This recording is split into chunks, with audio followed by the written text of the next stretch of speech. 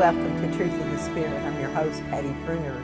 This is day 16 of our series, Daily Meditations for Lent. This is the Thursday of the second week of Lent. We've gathered words from the Lord shared during various Lenten seasons, and we'll share these personal revelations and meditations for you to discern and contemplate each day during Lent.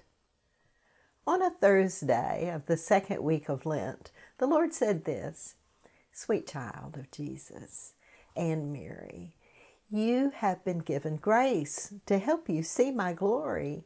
This glory is different than you can imagine. It is much, much more. As you surrender yourself to me, I will inhabit your body. My Holy Spirit is there now. My child, continue to surrender both your voice and your heart Ask for discernment in the promptings you hear. One Thursday of the second week of Lent, while I was praying for a woman to be healed of brain aneurysms and freed from all interfering areas of stress, the Lord said to me, My child, surrender Frances to me. Love her, but do not worry. I keep her surrounded by my angels, and I am with her always. Center your prayer on praising the Lord, for he is good. Later on, her doctor exclaimed that she had a miracle healing. My confessor gave these very good words of wisdom and counsel to me during reconciliation on a Thursday of the second week of Lent. Remember, you are in a holy place as you enter the church for Mass, and that Satan will tempt you to think of other things. Thank God for your gifts. Ask Him to gift others. Pray for your husband to have the fullness of God. If you see someone in a judging way, pray for that person. When you think of something negative, offer that in prayer and pray for good to take place. Another Thursday of the second week of Lent, the Lord spoke this to me My child, the difference in the amount of sand that is deposited by a wave seems to make no difference to anyone. Yet, with time, islands can be made or swept to the sea. Look not upon your actions as small, inconsequential things, but rather see it as a part of the journey of my people in my plan, where your life is intersected with theirs. Neither of you will be the same because of this brief encounter. Lives can be changed each day in similar small encounters. Watch for these opportunities and be open to the grace I pour out for you on these occasions.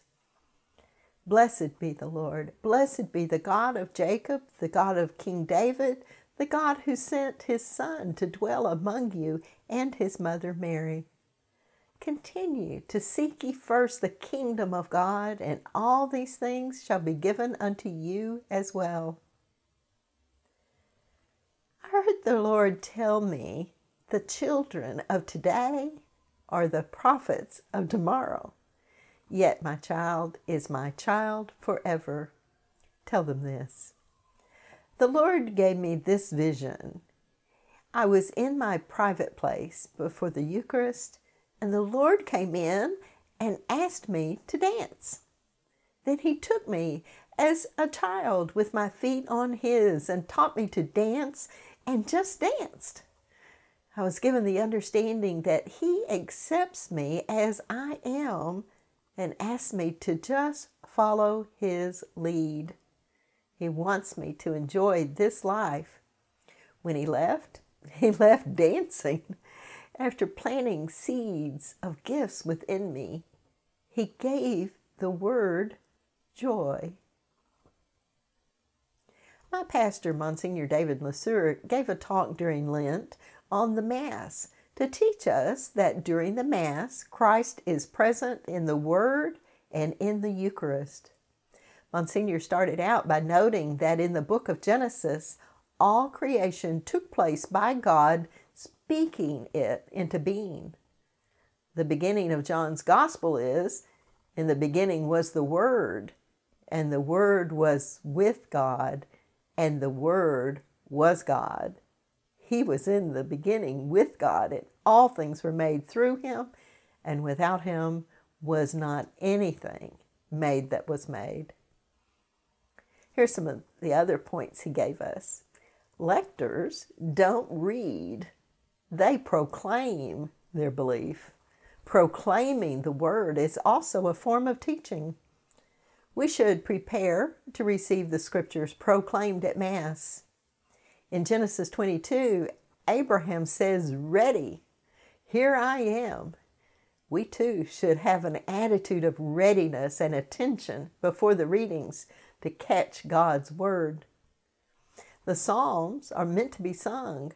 They are often very personal, using me and I, and thus the Psalms can touch us or can touch those who need so that we can apply the Psalm in prayer. We stand in respect for God's actual words of the gospel. Crossing our forehead, lips, heart before the proclamation of the gospel comes from the Gospel of John, chapter 1, verses 35 to 42. May the word of the Lord be in my mind, on my lips, and in my heart, so that I can follow you. The homily is not a sermon, but a focus on the readings. Stating the creed is what we stand for, so stand. the Mass now enters the liturgy of the Eucharist. Monsignor said to note that there are two key tables or altars during the Mass the ambo, which is the altar of the Word, and the center altar of the Eucharist. Monsignor David then reminded us that the sacrifice never ends. We participate in it from time to time. It's like we are pilgrims who stop and eat and tell stories. Being fed while on the journey is also in the Gospel's feeding of the multitudes of those following Jesus. So is the Emmaus story in Luke chapter 24. Jesus feeds them then disappears in the breaking of the bread, but is present within them as they run back to share the presence with others. We should come to Mass with expectant faith. Jesus is going to nourish us and share His Word with us. If you place your container of expectant faith under the waterfall of living water, it will be filled to capacity, no matter the size of your capacity to receive. Monsignor David said the mode of the receiver is affected by the worthiness to receive. We are not worthy, but it is a gift not because we deserve it. We need Holy Communion, especially if we've sinned. Serious sin is the only thing that keeps us from receiving the gift. Monsignor advised if we love God but fail through weakness or habit, and if we are not sure it is a mortal sin, to pray a perfect act of contrition. Being sure is one of the necessary items for mortal sin.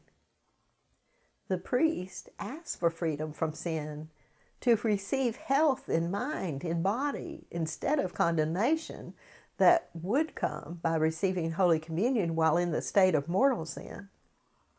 Monsignor David then concluded after receipt of Jesus in the Word and Eucharist with a growing container, we are sent like the Emmaus disciples running to share the good news.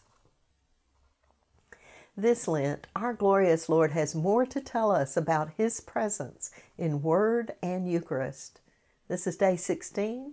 We invite you to subscribe or and follow and come back tomorrow for our daily meditations for Lent. Lenten Logos with Patti Brunner. Remember, the event of the cross and resurrection abides and draws everything towards life. Prepare for it. Ready your heart. The transcript of this episode is available at patriarchministries.com slash 286. Come back tomorrow for more. With the Holy Spirit, there's always more. Amen.